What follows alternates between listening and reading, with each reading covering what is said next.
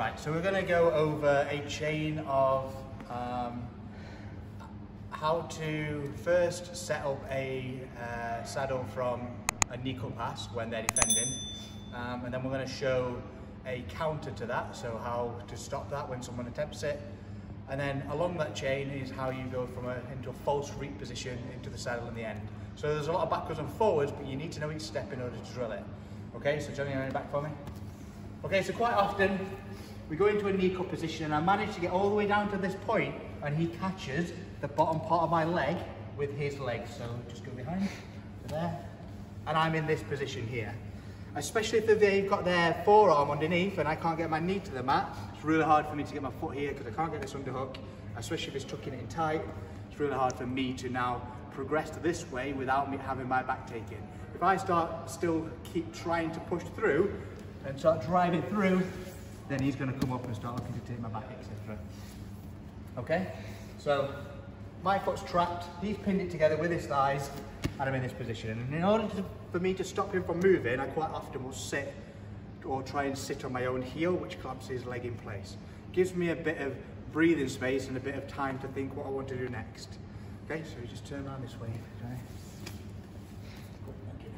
So what I'm going to do is I'm going to back step into which becomes a, a saddle position. You can do this quickly, you can do it slowly. It's preference on how you do it. Um, when I first started this, I went slowly, but that means they have time to react. Uh, it gives you a bit more control initially, but it's harder to get into the final position. Okay, so what I'm going to do is I'm going to base my hands down and I'm going to have my knee connect to my foot behind me. So the, the front of my knee connects to my heel. So I base down, I can even put one hand on him, base down, connect my knee to my heel, and then I'm gonna walk backwards so that my knee comes up, and my heel and my knee stay connected. The moment I start rocking back and his hips start to follow me, and you can see his knees start to follow me, I grab hold of both his shin and his knee, fall backwards, lift him up, and then get into that saddle position. And I keep both legs here. I want it so that he can't just suddenly retract this leg out and then start looking to escape the leg lock position. Okay, so we'll go over that again. So I've gone for a knee cut. He's holding on tight from this position and then I'm going to base off him, bring my knee to my heel, base off the mat, or base off the mat and bring my knee to my heel, should I say. Start rocking backwards until he starts following me and then I reach down to his far leg. So I'm, I'm controlling this leg, and this is the one I'd eventually be attacking, but his defense is to get this one free and run away. So I stop that. Rock backwards, slight pinch of the legs, making sure that my both my legs are controlling above his knee line, and then we've got both his legs trapped, and then for those who know that you've got the submissions there, or the heel hook, etc. Okay, and then I'll do it with a little bit of speed. Put in, this position. Okay, any questions? No? Have a go. Johnny.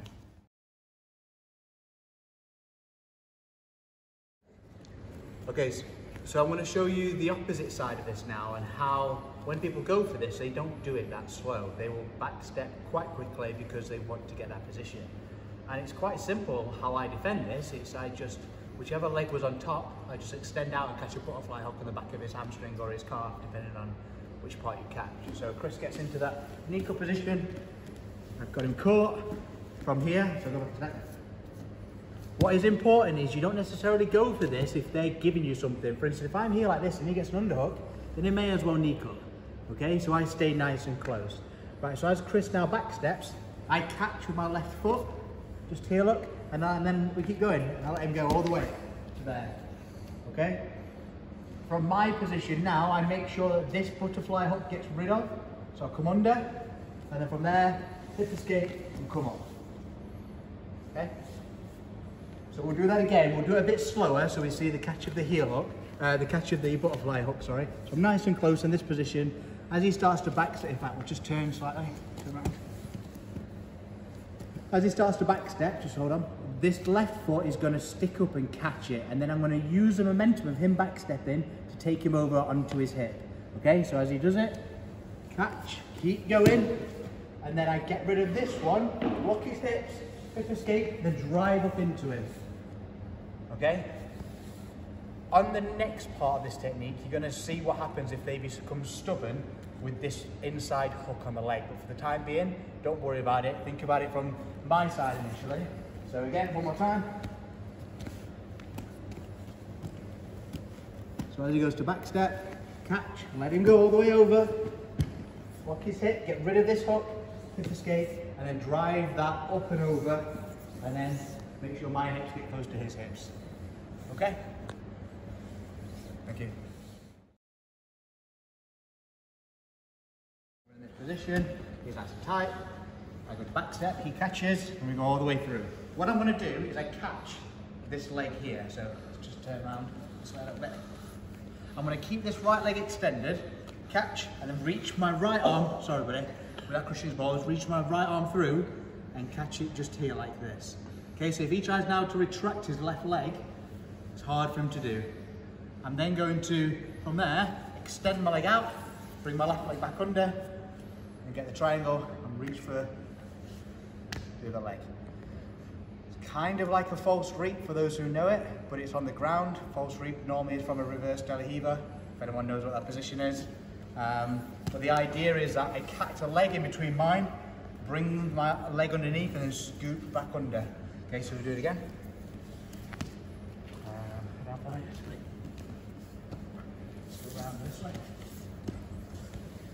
Okay, I'm in this position here.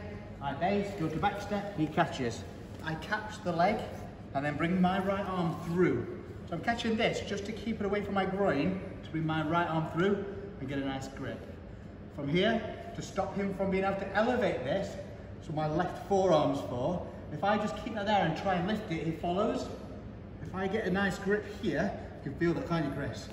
I can then bring my bottom leg free, go under, triangle, chase this leg. And then once, once I've got control of this with my two legs, I don't worry about this one, as long as they're pincing my, I'm pincing my thighs together and my knees together, I then chase this one.